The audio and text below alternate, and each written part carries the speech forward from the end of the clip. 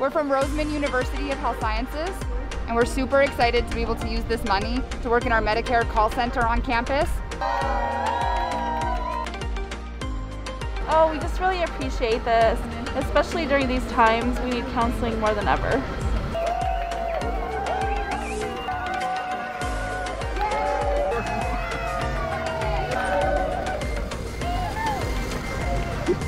These funds are incredible because they are actually allowing us to place our peer recovery support specialists in front of the patients. Bye.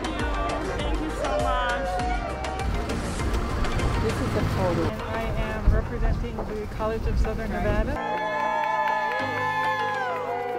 We are so grateful for this opportunity. Thank you so much. We're excited to partner with the Medicare Assistance Plan here at Dignity Health and make a difference. Thank you. Thank you so much.